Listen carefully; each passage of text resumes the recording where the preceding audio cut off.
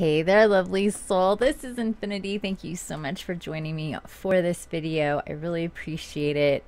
Uh, and if you're not subscribed, please consider subscribing at any point in this video when you think, hey, this chick is kind of cool.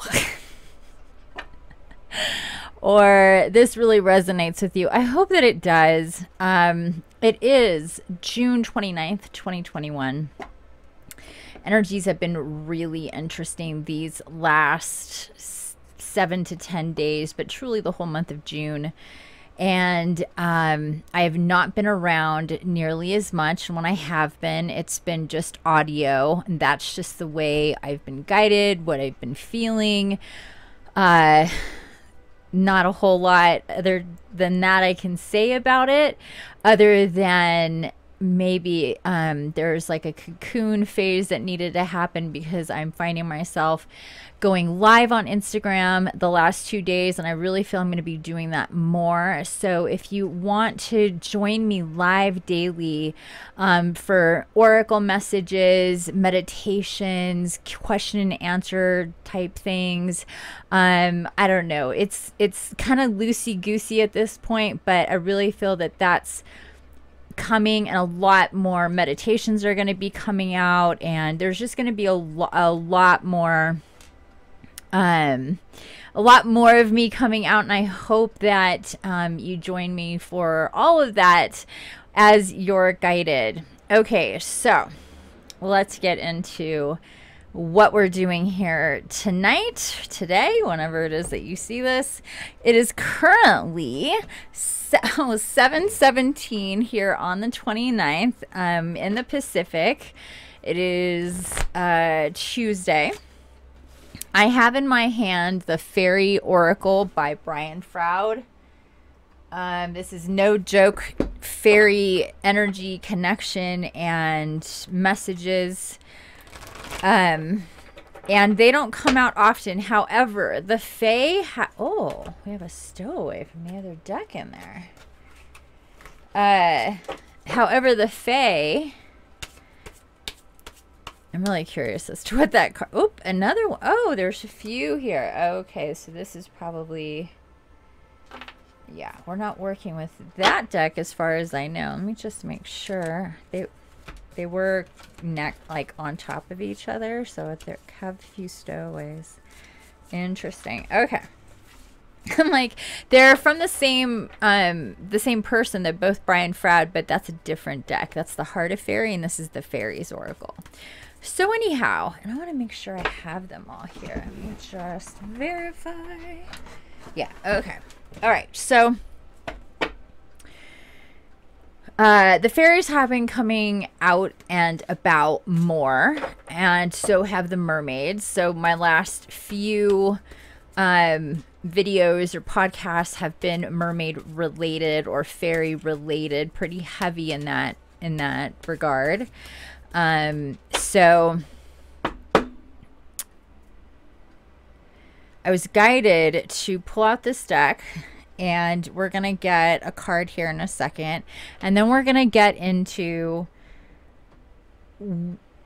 the the the meat of the video. And that is this um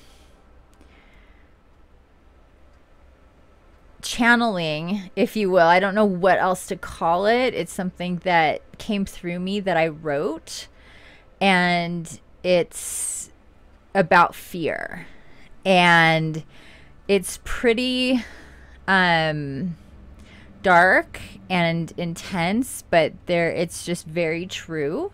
And um it's I wrote it on the 17th of June. It just started coming and I just I, it's decently long. I don't know how long it is in like minutes, but written it's kind of it's not super long, but it's like, oh, this kind of goes on. but it just kept coming, and it is what it is, and it's meant to shine a light on fear in a way that most of us don't think of it. Okay, so that's coming up. Let's get into the oracle and see what we get. What co what comes out because um, I find it really interesting. I'm guided. I thought I was just going to start the video with fear. And then it was like, nope. Fairy, fairy messages first. So here we are. I just do as I'm told. I'm a good soldier. Whoa.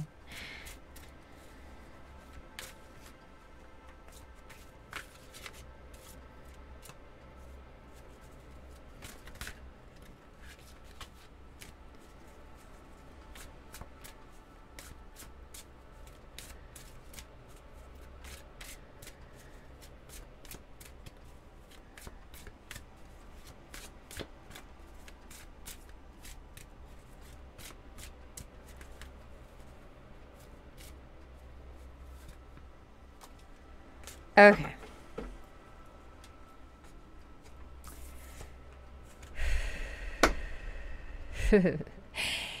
he of the fiery sword. Card number four. Wow, this energy is big time today. This is also um very much Emperor ener- energy, very much Archangel Michael energy. And this is would be the fourth time today. No, the third time today, right? Yes, the third time today that I have this energy coming through. So first in my live, if you watch the live from today on YouTube, um, the Emperor comes out. And then in a private read with a client, the Emperor came out, was the very last card. And then right now, this is the He of the Fiery Sword. It's not they're they're not the same, but you'll see I'm gonna read this, and I even have written here Michael. Um, let's see if you can see that. See that? Okay, so here we go. He of the fiery sword, the active principle, spiritual will, justice, protection. When the song comes into any of the manifest worlds, this world or fairy or another, it first encounters two principles, sometimes called yin and yang, or masculine and feminine, or great god and great goddess. He of the fiery sword is the primary manifestation of the yang principle action, will, movement, force, fire. We see him in many ways, each one an aspect of his total being. All of the great gods and protectors are aspects of this power. The fiery sword is the archetype of all magical and mundane swords, and written upon the blade are the words Draw me not without cause nor return me without honor. I love that so much. Every time I read that, it makes me smile really big. I just, it's so good. I'm going to say it again. Draw me without cause, nor return me without honor. A member of the Oracle group notes his fiery sword illuminates truth and dispels not truth. And she's talking about, I think they had like an online group about this Oracle um, deck. And that's what somebody said. His fiery sword illuminates truth and dispels not truth, which is so beautiful for what we're going to get into here about fear. So it's like I couldn't have planned this better. Seriously, it's so beautiful. Okay, here we go. And I think also that's why I love when I read that, draw me without cause nor return me without honor. It automatically implies this the the truth not your will, not what you want, not what's comfortable, not what feels good but the truth. Okay. We call upon the master of the fiery sword when we have difficult things to do, when we need to take action that is going to require much of us. both in will and in compassion. Another of the Oracle group reminds us he will do what needs to be done with love. When looking at this card, my neighbor saw it not as a sword, but as a feather of light he saw it as a symbol of the ability to fly, to rise above things. An Oracle group member saw it as someone reaching up, ascending, surrounded, surrounded by multiple reflections and filled with light and power. To understand this card more fully, please read the comments on She of the Grot, card 5. They are the two halves of the same whole. And let me turn this up. Now I can't even remember if I showed you earlier. If I didn't, I apologize. Sometimes I get away with I I get right into stuff and I forget to show you guys the cards. So here it is. He of the fiery sword. Wait, let me there. Did it. Okay. And what they have for starter reading so like the base reading um, the presence of the fiery swords master in a reading can indicate that there is or there is a need for clear and focused will and a determination to carry through on decisions even if effort is required. Or he can tell us that such will and strength is present in regard to the issues under consideration we need to consider how he is expressing his will and strength and how that expression may be enhanced or improved. It is this singer's energy that enables us to burst the bonds of an outgrown way of being and move on to the next level. He indicates that this is a time to take action based on clear spiritual will. His presence indicates great strength and great potential for good. It also reminds us that if we call upon him, we will receive assistance. The presence of this card in a reading radiates strength and willpower to the cards around it. And if it was in reverse, it says, like all the singers that this card does not have a reverse meaning as such because he of the fiery sword is present in full measure throughout the universe on all levels. Reversal here speaks of an archetypal energy blocked or unaccepted by the quotant but or another involved in the issue. Look at the cards around it to see what may be causing this. When he of the fiery sword is reversed, the question need, we need to ask ourselves is how may I feel strength and will in my life and allow the vital force to flow through. Okay.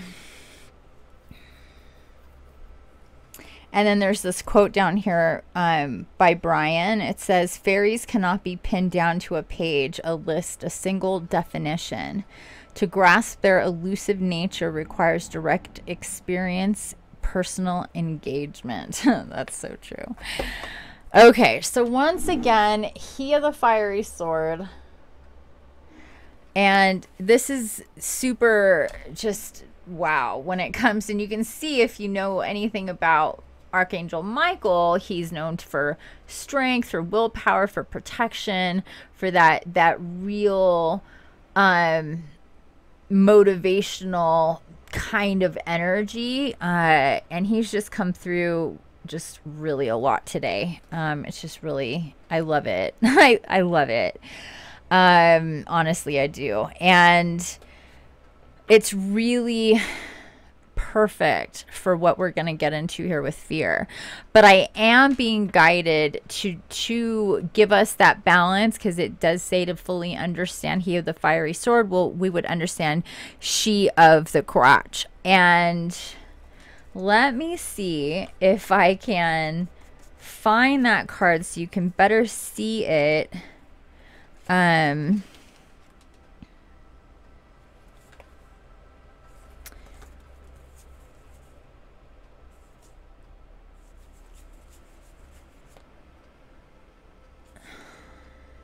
no. A lot of the singers, they have the same kind of there it is. Okay. So this is her card.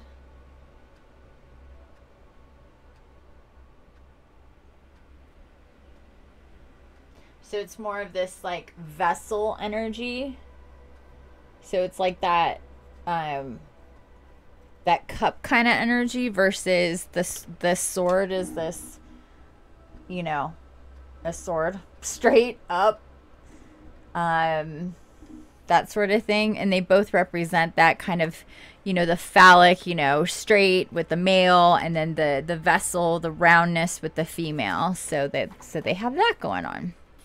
All right so i'm to read about the number five card. The receptive principle nurturing fertility this is the great goddess, the many named mother of all, and all god goddesses and attributes or aspects of her. Uh, her cup, the gro- crouch, crouch. I know I'm not saying that right. C R U A C H, crouch overflows with bounty for all. She is the yin energy of the universe, nurturing, compassionate, and wise. She gives form and brings into manifestation the will and the life force of he of the fiery sword. His is the intention, the action, and hers is the manifest reality. In a sense, she is the crotch holding all the worlds within her being.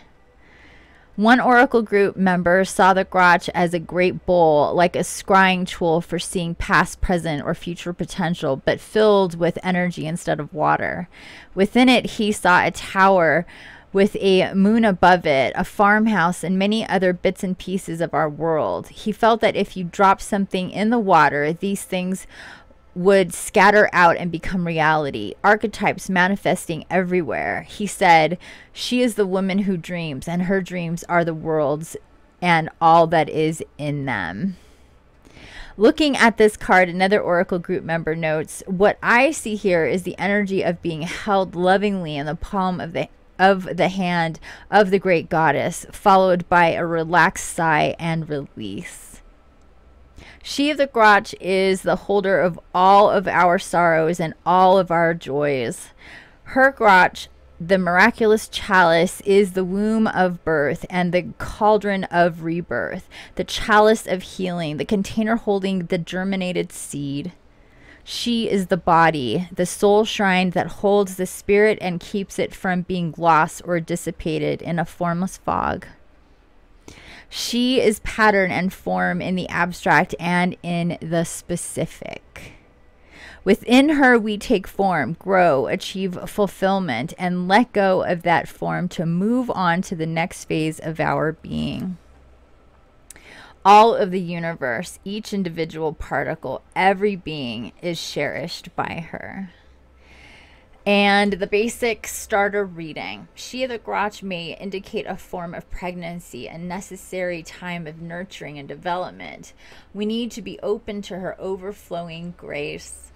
She may also indicate a need to allow her nurturing grace to flow through us to others in the form of unconditional love and giving and spiritual healing. She tells us that of the need for unconditional receiving of making the best of what we are offered.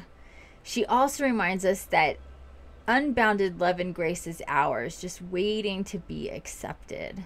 The presence of this card in a reading radiates comfort and nurturing to the cards around it. Um, okay, just wanted to check something. And reversed like He of the Fiery Sword and all of the other singers, she does not have a reverse meaning as such. She fills the universe and is available to all. Reversal here speaks of her ar- archetypal energy blocked or unaccepted by the quotant or another involved in the issue.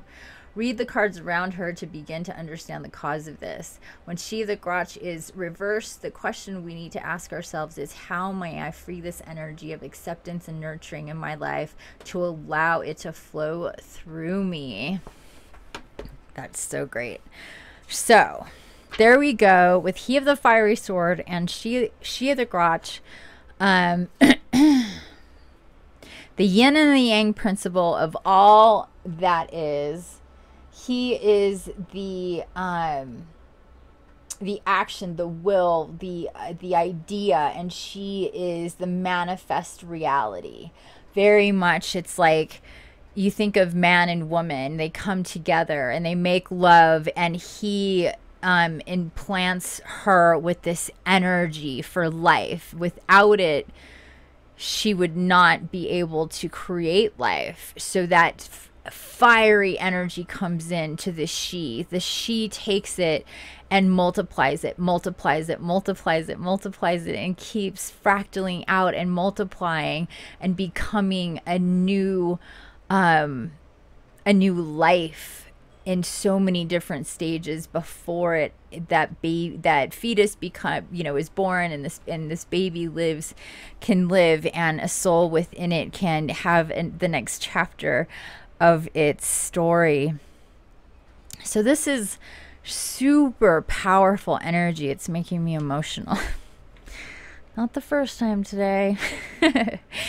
um, together also i'm being guided to notice that that this is the four and the nine I mean, sorry, the four and the five that make the nine. And as light workers, we're referred to as the nines. And if that's something new to you or you need a refresher, go to my website, thehealingbutterfly.org, to read about the nines. You can just go into the search bar and put nine or the nines, and it'll populate, and you can find it easily that way if I forget to put the link in the description, because sometimes I do.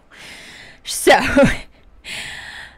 so that is speaking to the the universal connection of of the the incarnates the the higher level beings the higher level souls who have been incarnated over and over and over again who's gone through the process of living and dying in different lifetimes of going through that experience of being in the different realms the hidden worlds the different dimensions depending on what you are at a soul based level what your origin um, is, what your spark of life is. Kind of every every most souls are have a very you know everything's a little different for everybody, and in the process of all of that, anyway. We have gone through that countless times, just a, a, a lot of times. And as such the nines represent that that end of cycle and that that precipice for for new and having gone through all of the stages. And i'm not saying you've had nine lives. Um, you've had more than that if you're a light worker and an or empath light worker um it's not all empaths like understand or identify as light workers yet or whatever, but they kind of are one and the same. Um, consciously or not.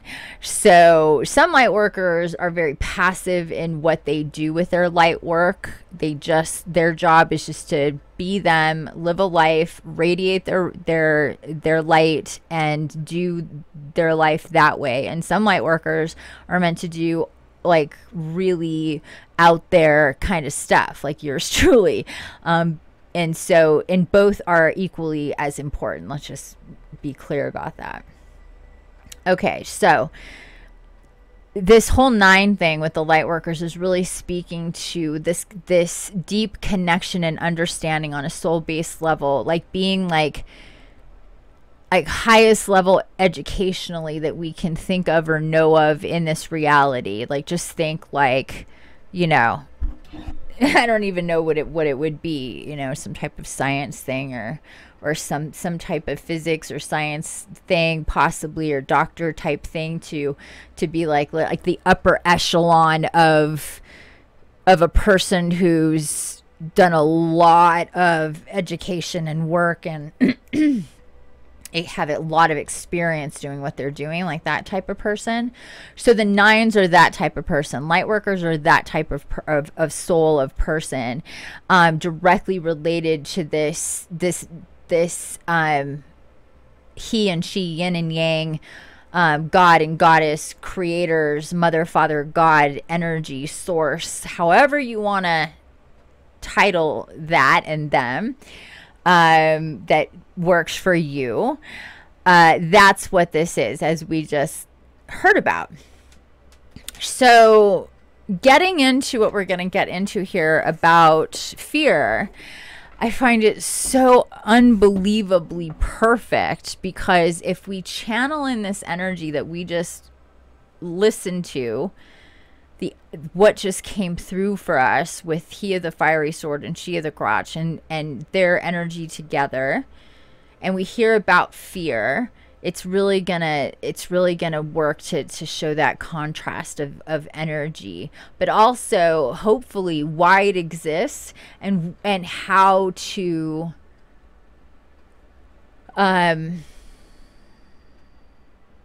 empower yourself to really truth understand and take this in take this information in and see it from a different perspective. So it empowers you motivates you fires you up as you go forward. And especially as we get into this new month of July 2021, things are really going to start rocking and rolling now as far as what we're going to be getting into. I am super excited about it. But with a lot of change and movement, adjustments, and action comes. Um, can come fear and and in so many different ways and so and so so so many different ways and something to really think about and be aware of um, how you feel what scares you what what you're afraid of and most of us just don't really quantify that. We don't inventory that. We don't think about it. We don't see it in the different ways in which it manifests. But it's important to as you go through your spiritual journey to really tap into this to this understanding and this energy. Okay, so without further ado, let's get into it. I'm going to make that go away because it is really bright. Even though I'm not going to be looking there for a bit, I'm going to be looking down here for the most part as I read this. Oh no, where's my water? Okay. Oh, it's right here. I was like, I could have sworn I brought it. I don't usually put it there. Okay. so just take this in as I read this and I'm being guided to just end the video um, pretty much when I'm done here so you can just sit with it, listen to it, maybe reverse it, listen to it again. I'm going to try not to, you know, mess up too much as I go. I'm going to try to, I'm going to try to flow here. Okay.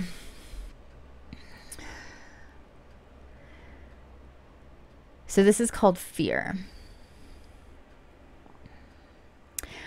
I am here to destroy you, to take away your happiness, to build up stories in your mind and take apart your heart.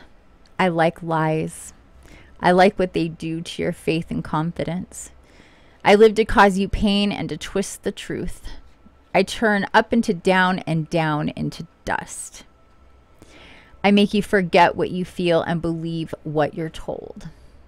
I use authority and the basics to keep you threatened. The more negative your mind, your thoughts, your heart, and body, the more you bring it out in others. Working to keep yourselves powerless, whether you mean to or not. I plug myself into every thought with my manipulation, and you let me because you're addicted to me. If you could see me for what I am, I'd never get away with anything, and you would learn the truth. That I cannot, that cannot happen. That cannot happen. I live off you, yet, like I said, I aim to destroy you. It is a thin needle to thread, I admit, but I nearly never lose. If I keep you occupied in things that do not exist, you'll be too distracted to see the truth. My favorite thing to do is to confuse you. I like turning you against yourself, making you question your intuition. I cast so many shadows, build up monsters in the dark, so the last thing you can see are those beings of the light who want to guide you away from me, who aim to get in my way. It's a game, I admit it. You are nothing to me, and it's not exactly personal, but then again, it most certainly is. My biggest grievance against you is when you ignore me, push me away, and decide I'm nothing. That is very frustrating, and I cannot allow it to happen often. That is why I work so hard to multiply myself, infest your life at every single turn so you don't know what peace is. So you turn away from love. So you see every possible flaw. So you, one way or another, despise yourself and the world inside and out. I make it impossible to trust anyone, bending the truth so your stories become your reality one way or another. At least I try very hard to. What makes life easy for me is that you don't actually need your reality to show proof of what I say. I just need to begin with a whisper and you take over for me. Making you feel jealous, seek revenge, and never forgive are also helpful allies in this war. You start to write stories that play into my every desire. You do what I say because I'm the one in control. Period. I keep you from your best life, from exploring, from expanding, from tapping into who you were destined to be. That is my job, after all. That is my purpose to keep you from yours. Your purpose is important. My mission is to keep you away from it, from knowing your power while flexing mine every possible chance I get. Since I'm confessing as you sleep, the truth is that you're extremely powerful. Oh, the irony if you only knew.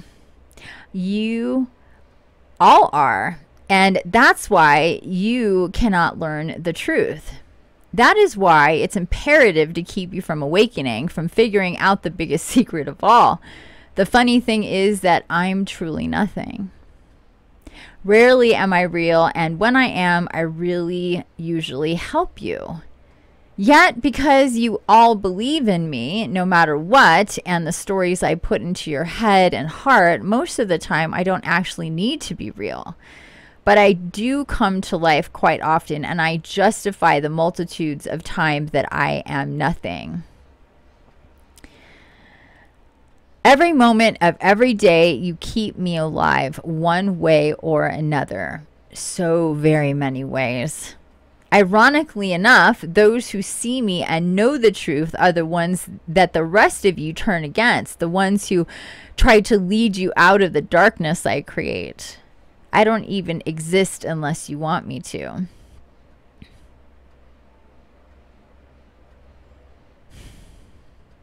The ones you shun are the ones who try to tell you about the many layers of your reality, especially of what I really am.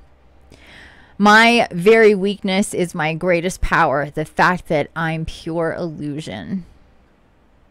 Too bad I'm so good at what I do, so perfectly invisible yet all around, that to escape my web requires the desire to know the truth. And the fact is that you're like most, too comfortable with your story, no matter how miserable. And I like you miserable one way or another. There's just too many of my walls of illusion up for you to get around, and that's how we constructed it, you and me and you don't want to go making a mess of things, trying to take them down on a quest for the truth. Now, do you? Of course not. Yours, fear.